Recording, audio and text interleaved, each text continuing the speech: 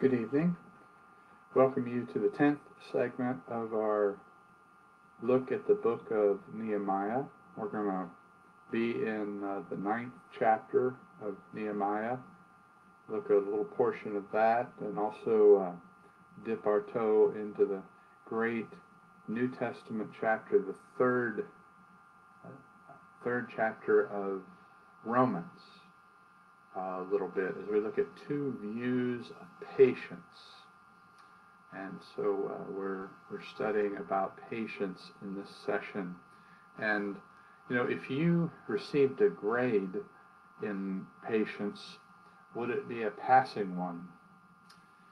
I heard about a man who prided himself on being extremely, exceedingly punctual. He, he followed a very precise routine every morning. His alarm went off exactly at 6:30 a.m. every day.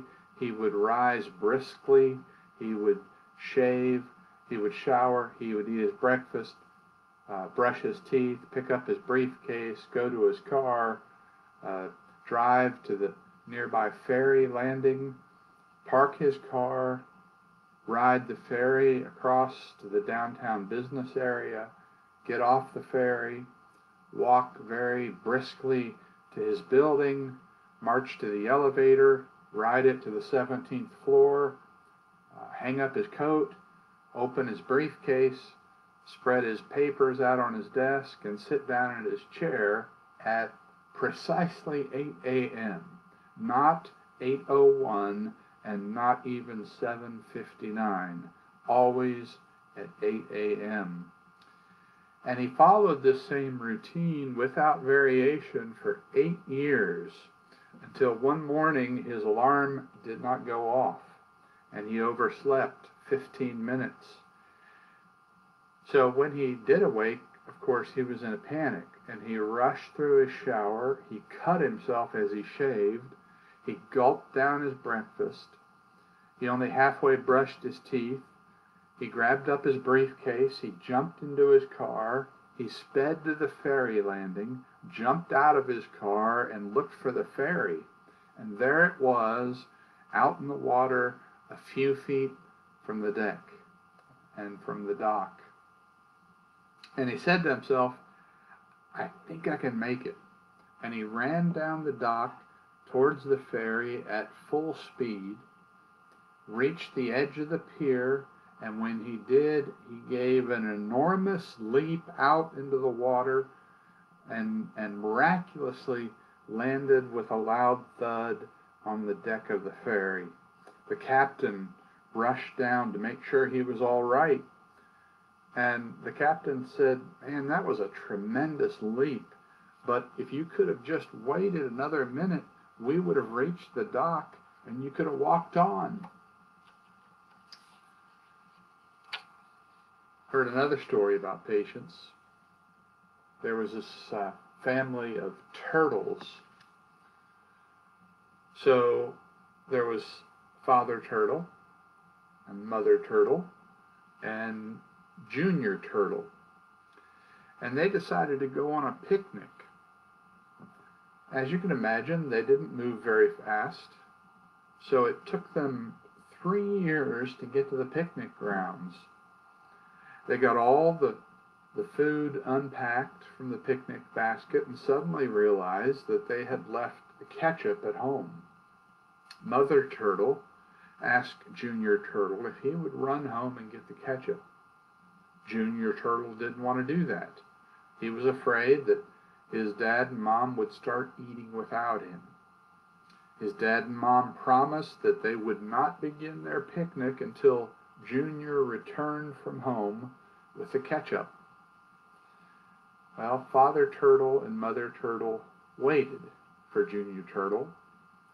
They waited for years. Five years passed and no sign of Junior. They waited some more. Nine years passed, and they could wait no longer. They, they just had to eat something. So each one of them took one little bite. And as soon as Father turtle and mother turtle took their first bite. Junior turtle burst out from behind a bush and screamed, I knew you'd start eating without me. I'm not going. Well, two sort of different approaches to patience, right? Uh, you can sort of pick the one that, that fits you better. In a similar way, there are two points of view about patience when it comes to God and us. God looks at patience one way, and we usually look at it another. Now, I want us to think for a moment of our typical view of patience. If we had to draw an illustration, a picture of our thoughts and feelings when patience is called for in our lives, what would that picture contain? Now, maybe we've been having to practice that a lot recently as we've been through this strange period in our lives. But if you had to draw a picture of of something that depicted your view of patience when it was required, what would you draw?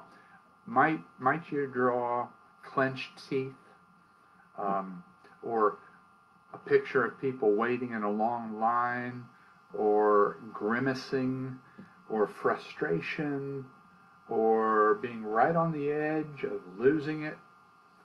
Uh, when when you have to be patient, how do you normally feel? Well, it probably depends on the situation, and I realize that.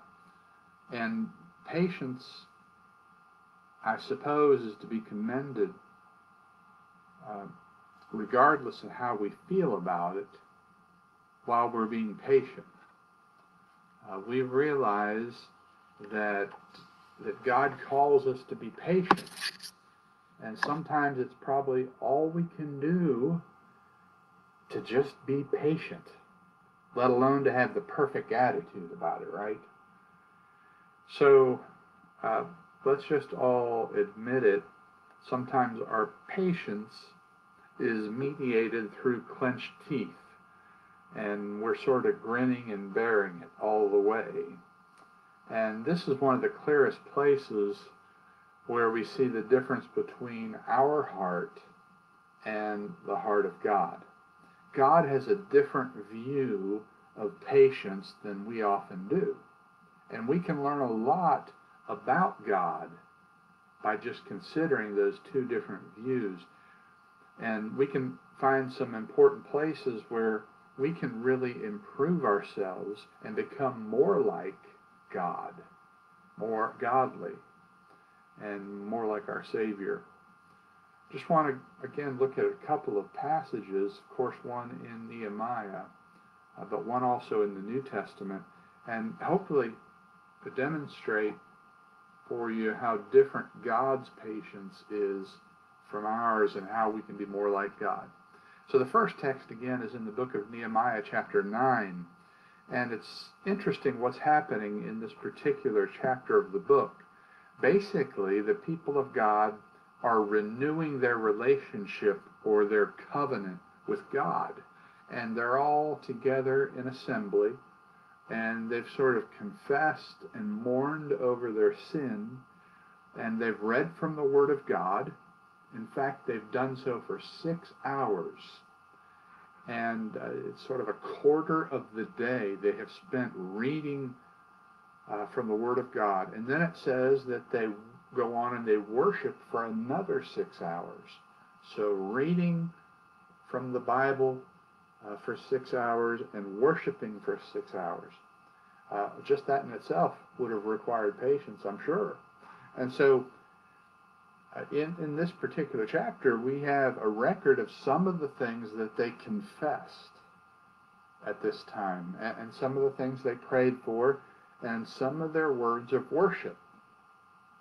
And over in verses 16 through 21 of this chapter um, is, is where I want us to, to, to focus our thoughts. The people there in that little paragraph talk about all the sins and mistakes that they and their ancestor ancestors had made as a people. Uh, it's sort of like group confession. And one of them, one of the sins, frankly, is that they were not a very patient people. And they didn't wait on God, and they didn't uh, they didn't wait on God's timing of things. And so I want to ask you to be patient for a moment and listen to these words that they spoke to God in, in Nehemiah chapter 9, uh, beginning in verse 16, and see what they say there. It says, But they and our fathers acted presumptuously and stiffened their neck and did not obey your commandments. They're speaking to God here. They refused to obey and were not mindful of the wonders that you performed among them, but they stiffened their neck and appointed a leader to return to their slavery in Egypt. But you are a God ready to forgive, gracious, merciful, slow to anger, and abounding in steadfast love, and did not forsake them. Even when they had made for themselves a golden calf, and said, This is your God who brought you up out of Egypt, and had committed great blasphemies, you in your great mercies did not forsake them in the wilderness. The pillar of cloud to lead them in the way did not depart for them by day nor the pillar of fire by night to light for them the way that they should go. You gave your good spirit to instruct them, and did not withhold your manna from their mouth, and gave them water for their thirst. Forty years you sustained them in the wilderness, and they lacked nothing. Their clothes did not wear out, and their feet did not swell. So you see this uh, confession that's being made in Nehemiah's day, sort of reflecting back on the people of God during the period of the Exodus. If ever there was a glaring contrast between God and his people, you have it confessed there in that text.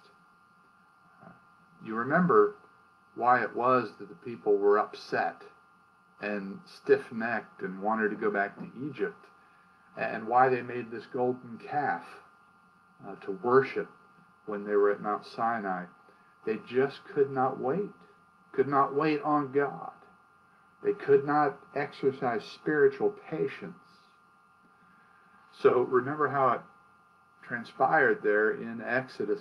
Moses goes up on the mountain, Mount Sinai, he goes up there to commune with God and to receive the law, the tablets from God. And he's gone for 40 days.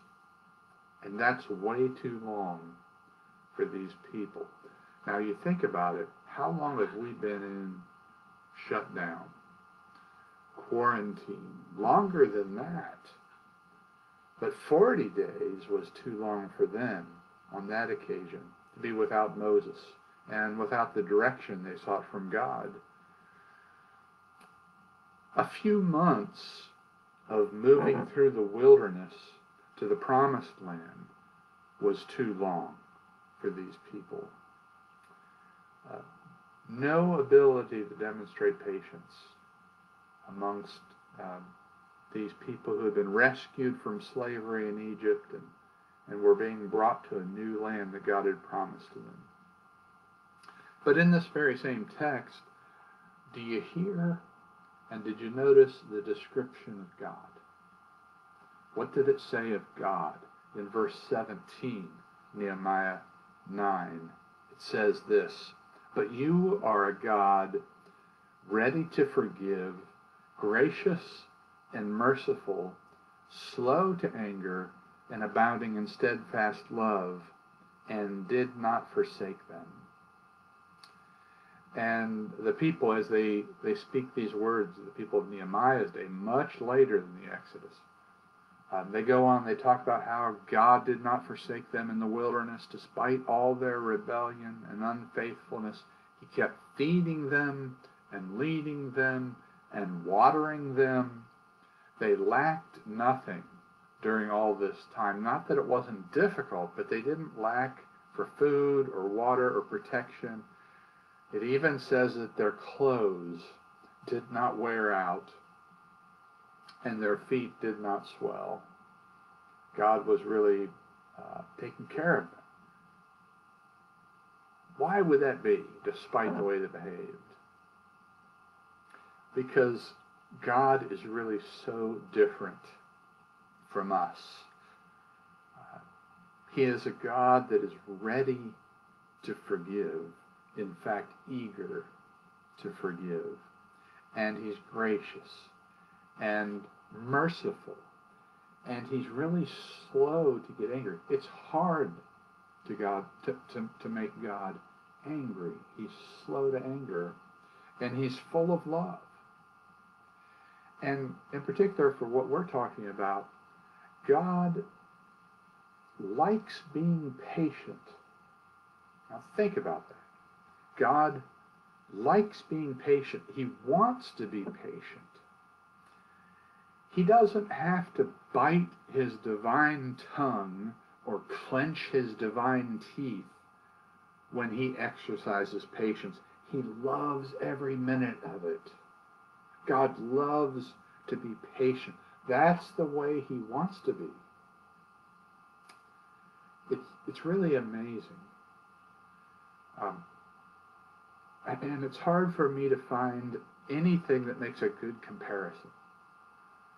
You know, when we um, remember different times uh, driving home from vacation, going to the beach and driving home from vacation, at least the place we went, uh, and the time of year we went, it, it seemed to always be a traffic jam when we were driving back, and probably it will be again next time. And uh, I can remember one traffic jam just sitting for an hour. I'm sure you've experienced worse ones than that. But I can remember one time it took an hour to go 10 miles. And I guess I was patient, but barely. Um, I didn't enjoy it. I didn't like it. I didn't want it. I wasn't happy about it, you know, but what could I do? Uh, the situation demanded that that I, I be patient. And I think about that in comparison to God. Imagine if when I came up on the traffic jam, you know, usually you can see those things coming from the distance. You can see the backup in traffic. Imagine coming up on something like that and it just delighting you. Oh, another chance to sit still. Isn't it just lovely? I, I've looked forward to this all day and just sort of celebrating the opportunity to be patient. Well, it sounds ridiculous, and it really is a, a ridiculous comparison to God's patience, but I don't have anything better. Uh, God wants to be patient with his people. He desires to be. And, and so he is so different, isn't he, than me and you. And uh, we really ought to be so thankful that he is. We would all be in such a world of hurt if God were not so different from us. Well, there's one other text that helps me understand this and grasp it a little bit more and, and reflect on it and it's the one we referred to earlier. It's the New Testament. It's a great chapter in the New Testament, uh, Romans chapter 3, and uh, a lot of great depth in that chapter. Um, but I just want to read a few verses from that chapter and, and set it beside what we've looked at in Nehemiah. Paul writing to the Romans, chapter 3, beginning of verse 21. He says this. But now the righteousness of God has been manifested apart from the law, although the law and the prophets bear witness to it. The righteousness of God through faith in Jesus Christ for all who believe. For there is no distinction. For all have sinned and fall short of the glory of God, and are justified by his grace as a gift through the redemption that is in Christ Jesus, whom God put forward as a propitiation by his blood to be received by faith. This was to show God's righteousness, because in his divine forbearance he had passed over former sins. So, you know, less we think that this is just an Old Testament idea we're discussing. It most certainly is not. Paul writes there in Romans 3 and in verse 23 all have sinned and fallen short of the glory of God. So now we're not just talking about ancient Israel in the wilderness, but all of us. All have done the same kinds of things that Israel did. All of us have been stubborn and stiff necked, and all of us have rebelled and sinned and, in effect, worshiped other gods, whatever the sin might be. And so all, in that sense, stand condemned based on their sin. But that little word, all, applies not only to the phrase, all have sinned, but also to the next one that comes in verse 24, Romans 3. Because it says there, and all are justified by his grace as a gift. In other words, all are justified by God's grace. How is that? Verse 24 through the redemption that is in Christ Jesus. So, it's true, all have sinned, and all are justified by God's grace, which was generated in Jesus Christ. And then in verse 25, in reference to Jesus, it says, Whom God put forward as a propitiation by his blood to be received by faith. So when we say all are justified by his grace as a gift, we don't mean all in the sense of 100% of all people of all time. No. Although all those who have received God's gift of grace by faith, that's the all that is being discussed. But notice the rest of the verse, Romans 3:25, and here's where it links up with what we've been discussing all along. Why is it that God did this? Says there, this was to show God's righteousness, because in his divine forbearance he had passed over former sins. What was that? he had passed over former sins. He had left sins unpunished? Yes. Why? Because God wants to be patient. God loves to be patient. It pleases God to show patience. And so he waited and he waited for centuries, for millennia, before sins were really punished. What do I mean by that?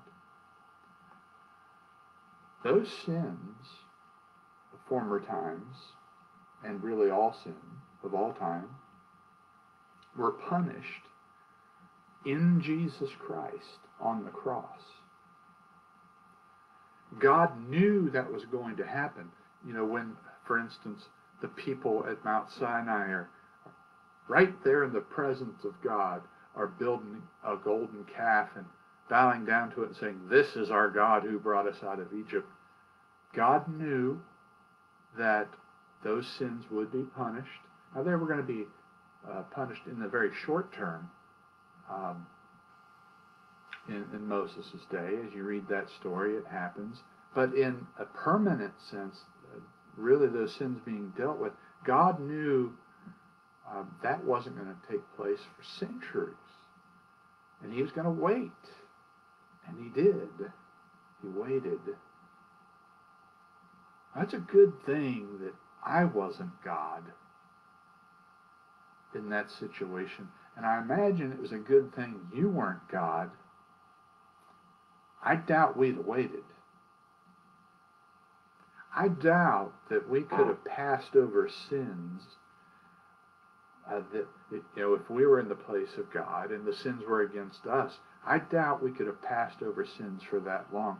And I'm, I'm sure we couldn't have done it with love in our heart and in the right spirit.